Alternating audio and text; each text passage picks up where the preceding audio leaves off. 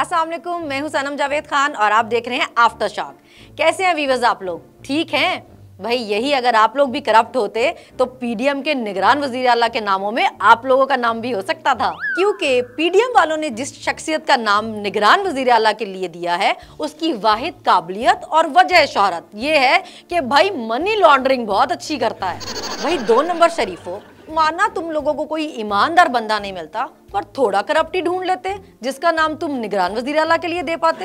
वो तो मकसूद चपड़ासी का नाम एक्सपोज हो गया था, इसलिए उसे ठिकाने लगाना पड़ा, वरना तो कुछ पता नहीं था उसका नाम भी निगरान वज़ीर की लिस्ट में होता। भाई, इन दो नंबर शरीफों का तो मैरिट ही यही है। जो बंदा जितना करप्ट उसकी नौकरी उतनी ही पक्की। आम लोग इंटरव्यू में लोगों की डिग्रीज देखते हैं और ये करप्शन के रिकॉर्ड देखते हैं।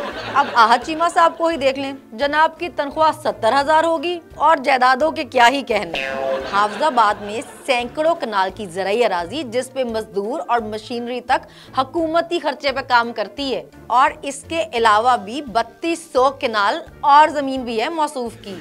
इन दो नंबर शरीफों के इस नामजद वज़ीर आला ने आशियाना हाउसिंग स्कीम में लंबा माल बनाया और तो और अपने आकाओं को भी खूब खुश किया। ये सत्तर हज़ार तनख्वाह लेने वाला सरकारी मुलाजिम लाहौर में एक प्राइवेट हाउसिंग सोसाइटी का मालिक है। भाई, मुझे भी ऐसी सत्तर हज़ार तनख्वाह चाहिए जिसमें इतनी बरकत हो। जब इसके आका शहबाज शरीफ ने लैपटॉप स्कीम का आगाज़ किया तो इस कारीगर ने बीस हज़ार के लैपटॉप को सरकारी कागजात में अड़तीस हज़ार का बताया।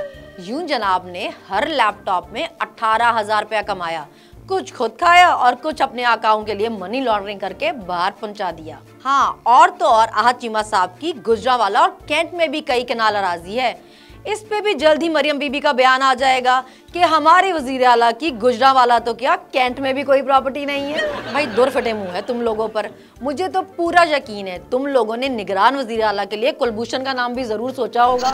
और जो दूसरा नाम दिया है, वो मौसू जरदारी साहब के फर्जंदे अव्वल है। फर्जंदे अव्वल से आप लोग समझे होंगे, बिलावल जरदारी साहब। अरे नहीं नहीं, यहाँ बात हो रही है हारिस टिलमिल केस, बैंक फ्रॉड केस का मरकजी करदार और जरदारी साहब की काली करतूतों का फ्रंट मैन जनाब सैयद मोहसिन रजा नकवी साहब।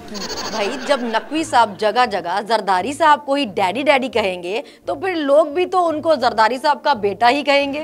अब जरदारी साहब ने इनका नाम दिया है तो आपको इनकी खूबियों के बारे में तो अंदाज़ा हो ही गया होगा। जरदारी साहब का खास होने के साथ साथ इनकी हरकतें भी जरदारी साहब से बहुत मिलती जुलती हैं। ये साहब रजीम चेंज ऑपरेशन के सिपा सलार थे।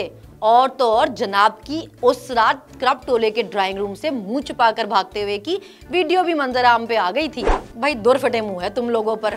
2022 में वज़ीर आला पंजाब के इलेक्शन के मौके पर चौधरी सुजात साहब के नाम का लेटर भी इन्हीं के घर पे लिखा गया था। जरदारी साहब के हर पुट्ठे काम में इन्हीं जनाब का नाम पाएँगे आप। इनका चैनल 24 न्यूज़ बगैर न्यूज़ कैटेगरी लाइसेंस के ऑपरेट हो रहा है। और जब मौसू के खिलाफ एक्शन लेने की कोशिश की जाती है तो अपने वर्कर्स से ज़बरदस्ती एहतजाज करवाकर ब्लैकमेलिंग शुरू कर देते हैं। पिछले चार साल फेक न्यूज़ इनका धंधा रहा। और तो और मुल्क में अनारकी फैलाने में भी पेश पेश रहे। और तो और नजम सेठी जैसे नवाज़ शरीफ और न्यूट्रल के हवारी भी इन्हीं के चैनल पर एंकर हैं। इनके फेक न्यूज़ चैनल पर सहाबा क्राम की शान में गुस्ताखी की गई और इन मासूफ ने माफ़ी तक नहीं मांगी। फजल रहमान साहब, अब इस नाम पर कुछ नहीं बोलेंगे, मगर अगर यही नाम तहरीक इंसाफ ने दिया होता तो अब तक कई तरह के फतवे जारी हो गए होते। इन दो किरदारों का नाम देने से पीडीएम की असलियत, उनका किरदार और उनकी सोच और वाजिया हो गई है। खुद को कर करप्ट इतना कि हर असेंबली तहलील से पहले। खुद को कर करप्ट इतना कि हर असेंबली तहलील से पहले। पीडीएम खुद पूछेगी, बता, निगरान वज़ीर आला के लिए तेरी रजा क्या है?